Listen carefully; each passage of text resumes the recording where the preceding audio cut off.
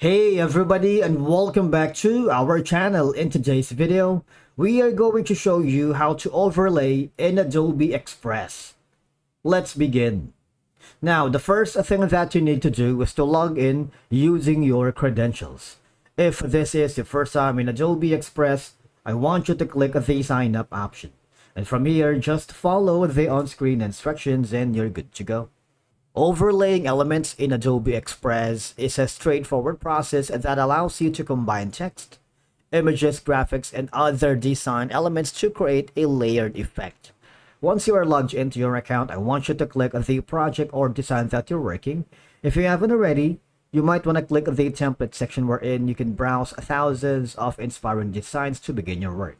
But if you want to start from scratch and upload your own content, just click your button here. So let me start with this design.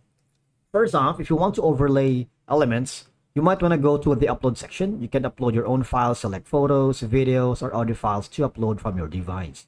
All right. Or you can just simply hover to the media section on the left side panel of your dashboard, wherein you can upload your media or select from the royalty-free Adobe stock photos, videos, and music. So I'm going to add my own photo here, the thumbnail that I'm going to use later to upload this video and then I'm going to the media wherein I have all these for four tabs all photos videos and audio. Now one layer that I'm going to choose is going to be the video.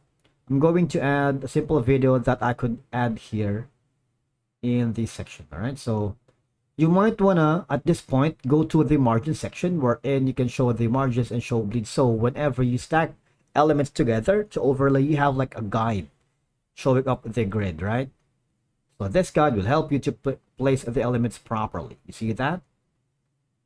That they are inside the grid.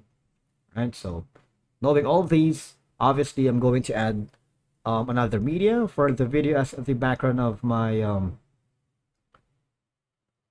this one right here. I'm going to place it all the way through. Don't worry because what I'm going to do is make it as a background for my video. Now I'm going to add another text here. Add my text. I'm going to make it a little bit smaller.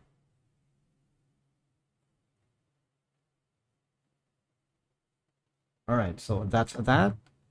Now I'm going to make the uh, font color as white, and then I'm going to click the outlines of the border to make it black and expand its thickness. So you guys can see it. All right so basically this is the easiest way for you to overlay here in adobe express. The idea is that one element is equivalent to one layer.